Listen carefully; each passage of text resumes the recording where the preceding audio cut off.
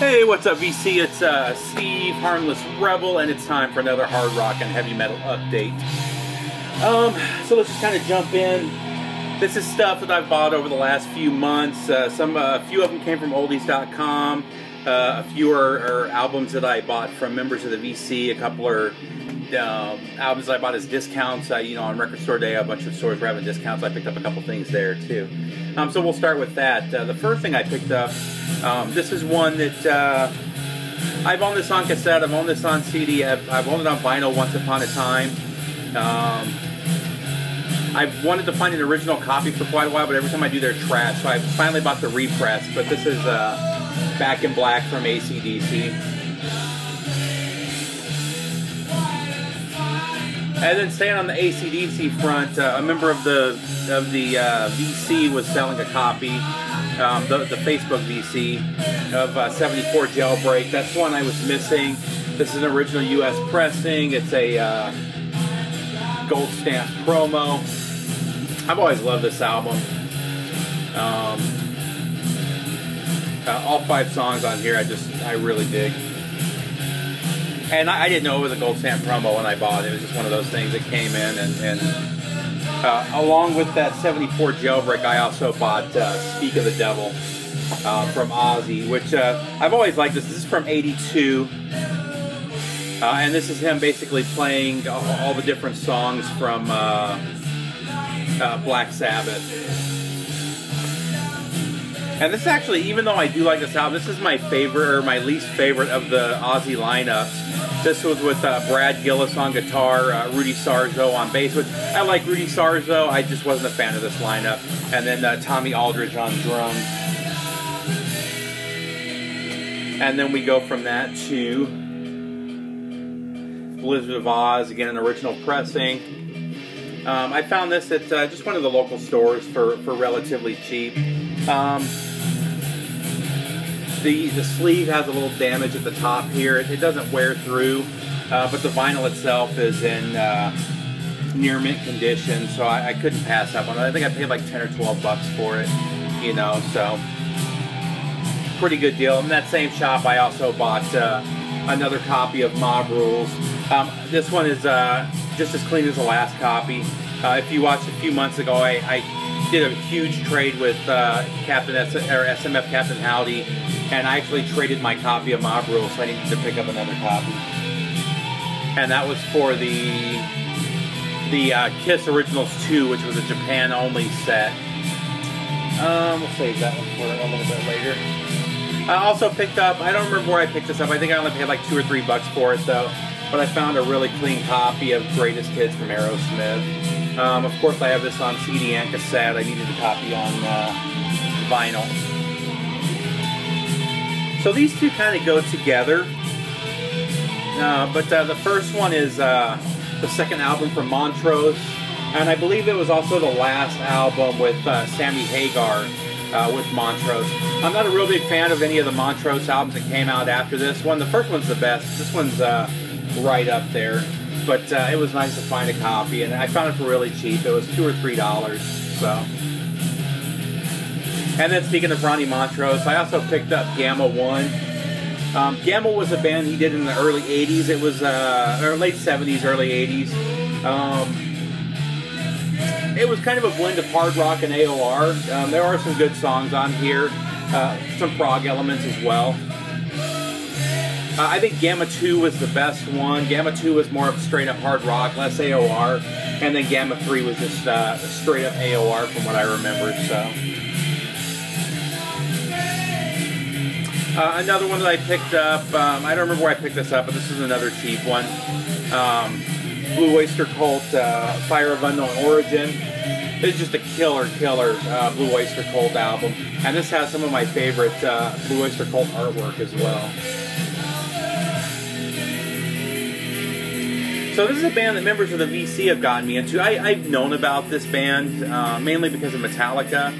Uh, but I had never really sought out any of their stuff uh, until I started seeing uh, or hearing different or talking to different members of the VC about it. And uh, this was one. It's funny. I was talking about this band with uh, Scott Waters literally the day before I found this, and I was mentioning that I've never seen one of their albums in a while. And then I go to a antique mall, and I find Bandolier from Budgie's, and it's a white label promo. Yeah, pretty much in mint condition. Yeah. Uh, the only thing that hurts the value or hurts to that is the, the little uh, hole punch there, but uh, killer, killer album. I, I love this album. Um, I've got two of their albums now on vinyl, and I've heard three or four. Um, and uh, this is right up there with the top of that I've heard. Really, really good album. Next, uh, this one was a dollar bin score. Um, I basically bought it for the front and back cover, and it ended up being pretty decent, uh, worth checking out. This was actually never released uh, in any other format from what I saw, but this is a Hey World from Roadmaster. Um, I'm trying to think what year this was.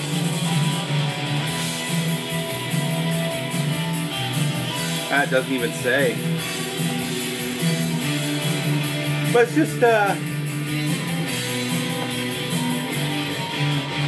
some good hard rock. Definitely worth uh, paying a couple bucks for if you see it. You know, I wouldn't mind running across, obviously, a better sleeve. The vinyl was, the only reason I bought it is because the vinyl was really clean. But, uh, like I said, it ended up being decent. If you run across it for under three bucks, or, you know, pick it up. Uh, uh, working on my ever expanding April wine collection, I ran across Harder and Faster, which is their 1979 uh, hard rock album. Also picked up Winger 2. Uh, I don't like Winger 2 as much as I liked the first Winger. Um, it, it's funny, the first Winger is actually the. Um, it's actually the soundtrack of me running away. Uh, a friend of mine and I in uh, 89 decided it would be cool to run away. We had no real complaints, you, you, know. I mean, we were from poor families, but we weren't like mistreated. We just thought it would be cool to run away. Um, so we stole a bunch of change from our parents. Uh, and when I say a bunch of change, it was like 300 bucks worth of change. Both of our parents had these big change things. And I just decided to run away with that money. And uh, we ran away from Phoenix to Casa Grande, which is uh, about about an hour, hour and a half outside or away from where we lived in Phoenix. Uh, we took a Greyhound bus, and, and, you're talking sixth graders. You know, bought the tickets ourselves, hopped on the bus ourselves. Nobody said anything. Uh, you know, um, he knew some people in Casa Grande, so we stayed at a friend's house who was like a, a sophomore or a junior in high school, and and we were basically hanging out with uh, uh, other pot or not, uh, other metalheads in, in Casa Grande for like three or four days before some cop finally stopped us and questioned us and asked us what we were doing out at like 10 o'clock at night, you know. But uh, we had two cassette tapes with us between us. He had brought Winger, the first Winger album, and I had bought um, um, Ozzy Osbourne. That's uh, the one with Killer of Giants on it, Ultimate Sin uh, I had brought Ultimate Sin, and we just went back and forth listening to those two songs. So um, it's just every time I hear Winger, I think of that. But uh, Winger 2 just reminded me of it. Next up is the not so black metal um, uh, Deafheaven. Uh, this is their first full length album. Uh, I talked about Deafheaven uh, one or two videos, maybe two or three videos ago. Um, they're generally categorized as black metal. However, they're not. It's more like a uh, uh, post rock with uh, maybe even post metal um, with uh, black metal vocals, and, and, it's not satanic, you know. So uh, I I don't even think that it's really black metal in any way. But uh, and this is Roads to Judah, and it's on clear vinyl really good album. Definitely worth checking out. If you're into uh, post metal or post rock, you'll definitely dig that album. Uh, and then uh, adding another one to my Saxon collection, uh, probably my favorite Saxon album.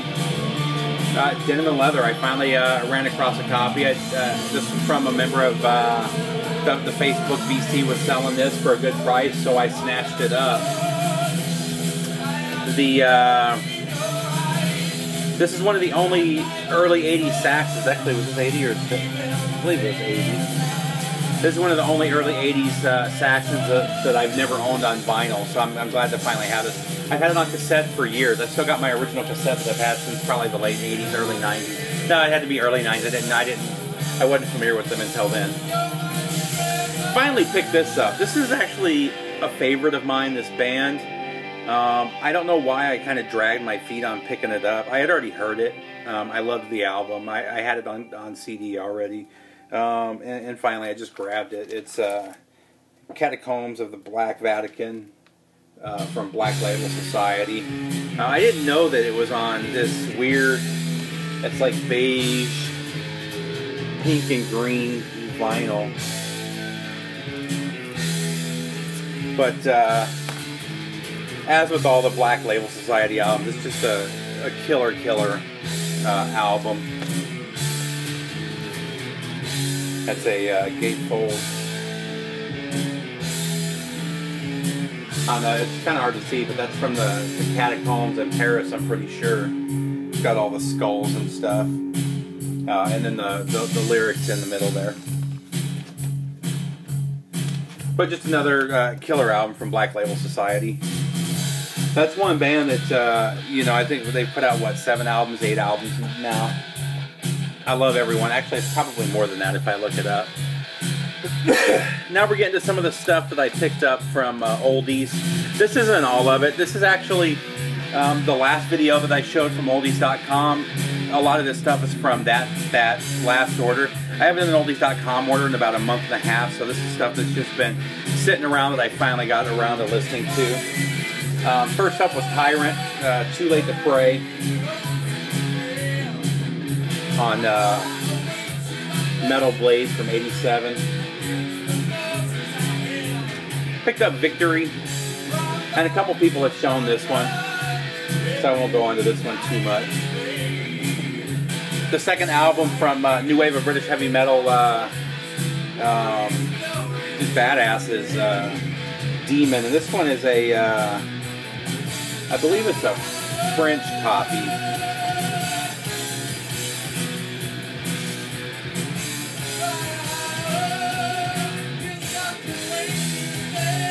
Yeah, made in France.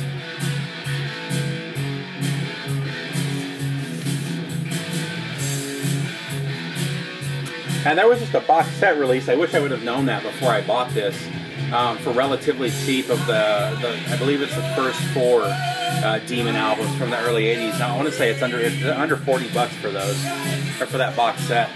Um, then these next two are just both ass-kicking albums. Uh, the first one was Hallows Eve. I've actually ordered this from from uh, Oldies three different times, and for uh, for some reason every time I, am assuming that uh, when I ordered it, it was in stock, and by the time they processed it, it was out of stock. But uh, the first two times my order, or that portion of my order was canceled, so I'm glad to finally get this in the collection because I love this album. And then uh, the last one from that is uh, Heretic, Breaking Point. Just another killer, killer album.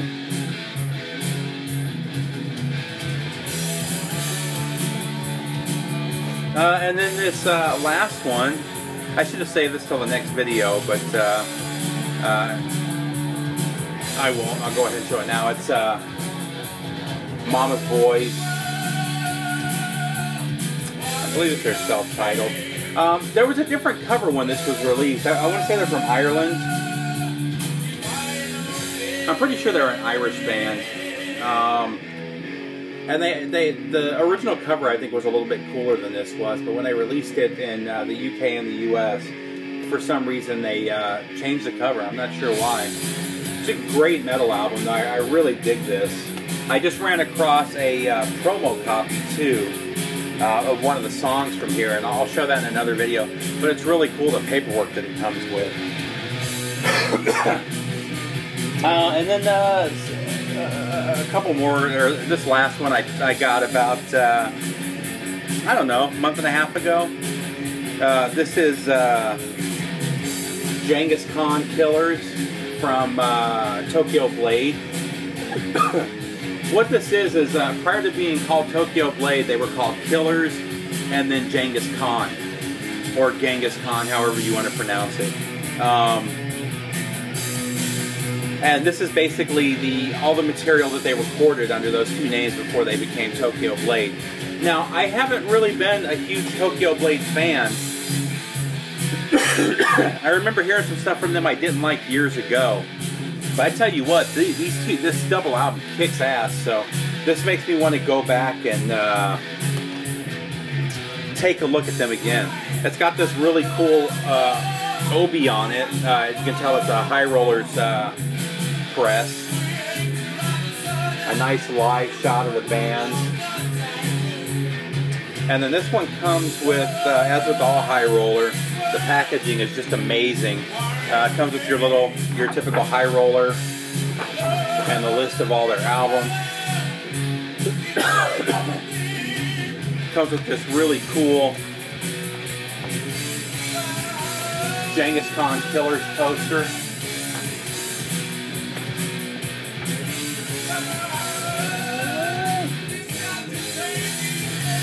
And then I didn't know this at the time. I, I, thought I was this was on black vinyl, but it's not. It ended up being on this. Uh, like I don't know how well that's coming in, but it's an olive green vinyl.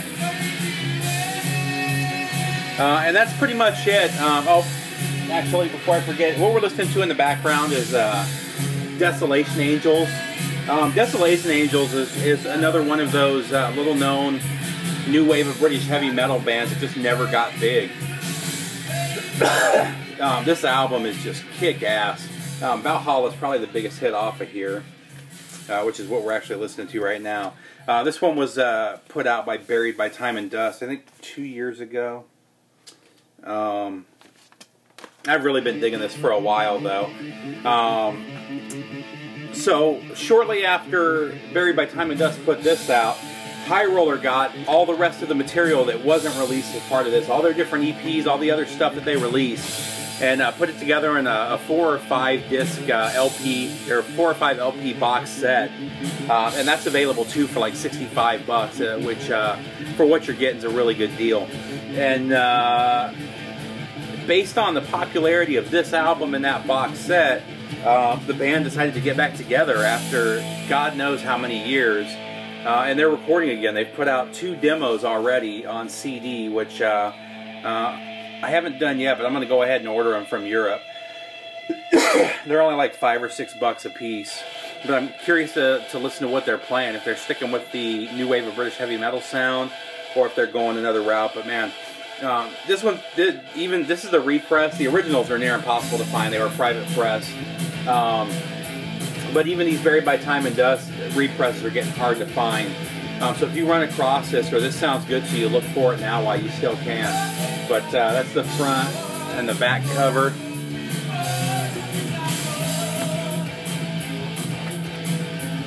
This also comes with a really cool tour poster, live from England, supporting Bad Lizard, Heavy Metal Thunder, see.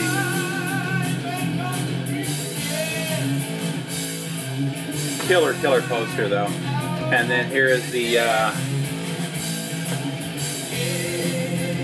little insert it comes with with the shots of the band.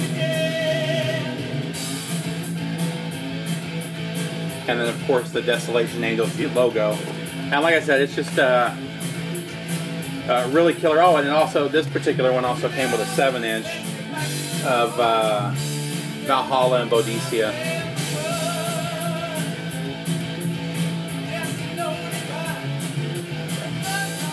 And that was one. Uh, that one took me a while to get. Um, I saw it for sale uh, probably about a year and a half ago, and uh, I didn't realize that they only had one left. Uh, this was through uh, Rockadrome.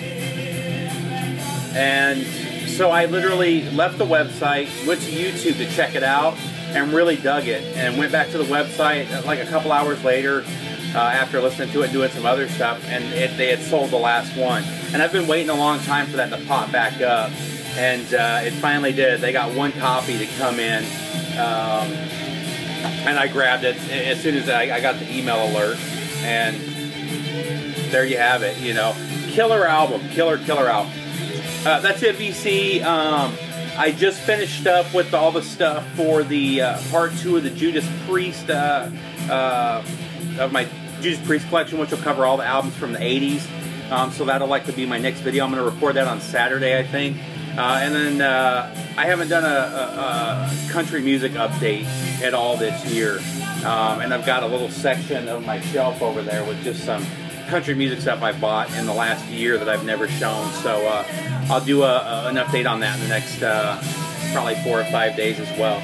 Um, that's pretty much it though, VC. Uh, let's see, today is the 23rd, so we still have a few weeks until my contest is over. Uh, so if you haven't done your responses yet, make sure you do that. I think I've had uh, 10 or 11 people so far do their responses. Um, and I'll be doing a video to remind people of that in about a week or so. So take care, VC. Uh, have a good weekend.